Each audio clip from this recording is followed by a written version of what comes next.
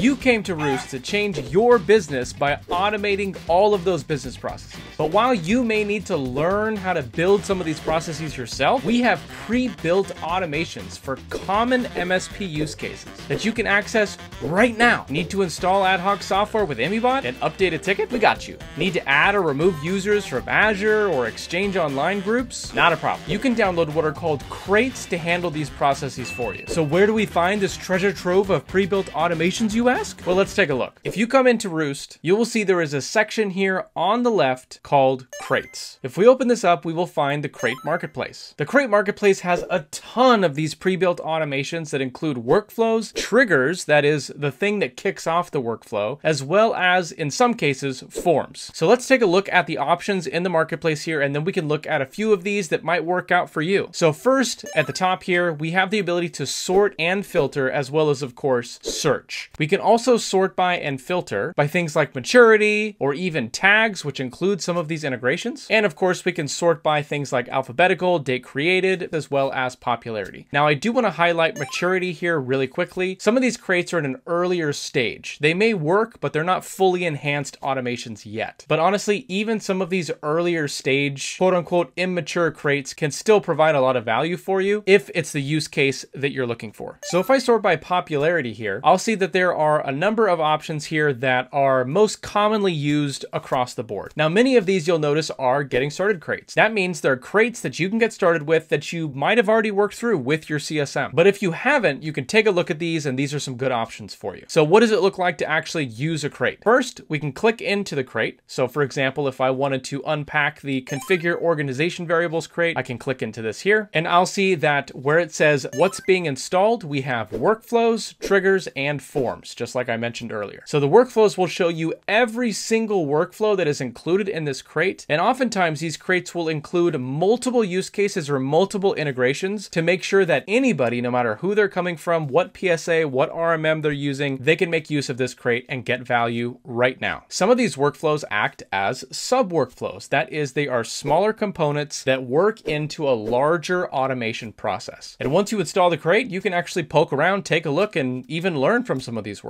So if I close this up here, next I will see triggers. Now, it's really important to note note something here. You'll notice that all of the triggers here are enabled. And again, just as a quick recap, a trigger is simply the action that kicks off the automation. So that could be a form submission. Someone fills in a form and hits submit, and that kicks off the automation. But what's important here is that when they are enabled, that means if you unpack this crate, these automations can start working right away. Maybe that's good for you. But in most cases, we would actually recommend that you disable these triggers when you are unpacking the crate. What that allows you to do is make sure sure that everything is set up properly and aligned before you actually start these processes. This is especially important for cases like PSA trigger or even cron triggers, which are time-based, because you could just unpack this crate and if someone creates a ticket, for example, it could immediately start running. And finally, we have forms, and these are often included as those form triggers. You'll have the trigger set up, and then you'll have the actual forms that need to be filled out. Now, I've already unpacked this crate here, so for me, it's gonna look like update configuration, but if I click on update configuration here, this is what the experience will look like when you click unpack on a crate. It will give you some information about the crate and you can continue. In some cases, you have to select what integration you're using, such as your PSA. Otherwise here, what's really important is you can add your time saved. This is a really, really important metric that we come back to time and time and time again. As Aaron, our CEO, always says,